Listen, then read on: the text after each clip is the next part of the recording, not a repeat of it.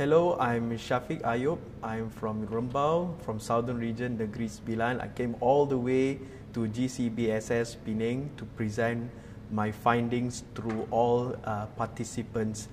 I would like to take this opportunity uh, to thank all GCBSS team and also GCBSS program uh, for giving us an opportunity, a platform to share our very own findings, our new breakthrough, and also novelty of model and frameworks to various of scholars, academics, industry players, and other institutions as well. Not to forget other countries. Uh, delegates also attended uh, this program.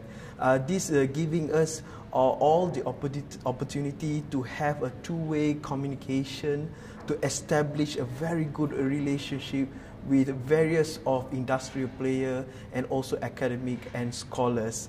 So I can't say that I am very proud of GCBSS team for giving us a platform to share our knowledge, peace and tranquility among all the participants.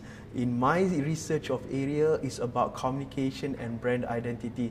It is the very first of participant have the uh, utmost uh, wonderful opportunity to share our own new breakthrough to uh, all participants to share their ideas, concept and transformational model which can greatly benefit not to just government, uh, NGOs and uh, uh, public listed companies, private fund companies and also community as well.